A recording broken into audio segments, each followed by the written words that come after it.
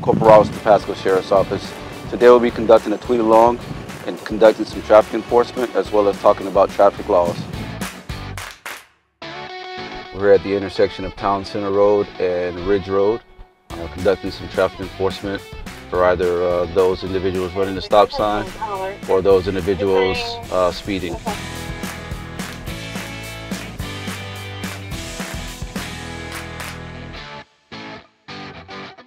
We were enforcing some traffic laws in the Ridge Road extension for the running of the stop sign.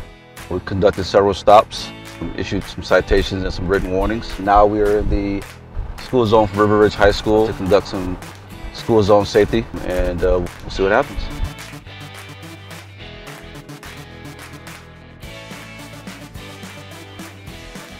The driver of the vehicle is uh, having a bit of a hard time.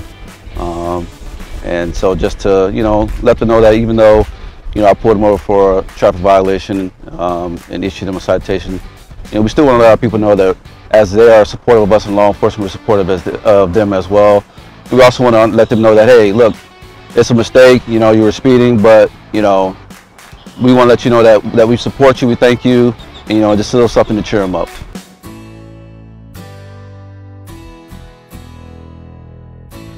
Yes, ma'am. I'll be in the parking lot of River Ridge High School.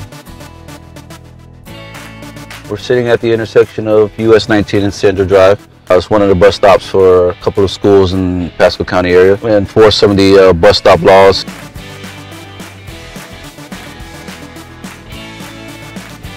This concludes our tweet along for the day. We ask that you obey all traffic laws, uh, be courteous to others, and be safe.